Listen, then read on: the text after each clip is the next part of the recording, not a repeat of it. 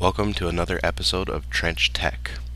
Today we're going to talk about how we can take media and turn it into digital files that we can use in the future. This is really useful when we need to take operating systems such as Windows or Mac OS, um, Office products, QuickBooks, Adobe products, things that we typically don't have media ourselves for, but that we would need to install on our customers' computers.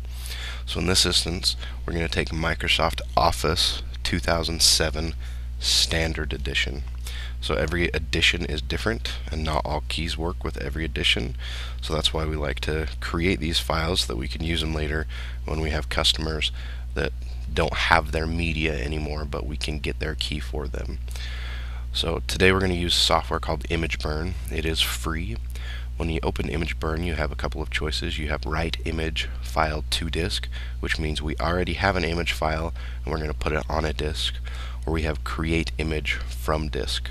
So this is the option that we're going to use today because we have Windows off or Microsoft Office 2007 and we want to make a copy of it.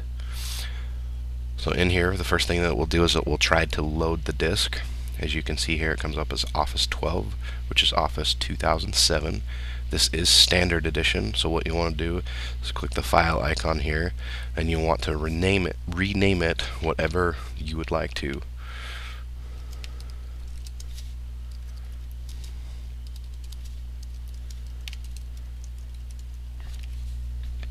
And then I always save mine as ISO files because that's the most common file as far as being able to use it with the most amount of applications. Once that's done, all we do is we click the disk to image and it will go through the imaging process. We can tell it to eject it when it's done, close the program when it's done, or shut down the computer. And it makes a fancy little noise when the whole process is done.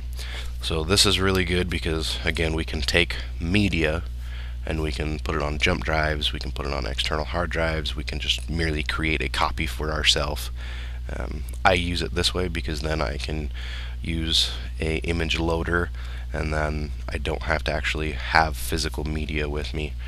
Um, so this works really great. We'll have another episode. We'll have a link in the description of how to mount an ISO file to a computer without having to um, do anything special to burn it to media. Um, again, this is a great way, and you want to start collecting media as soon as you start repairing computers so that you can create a library for yourself so that you can help your customers a little easier.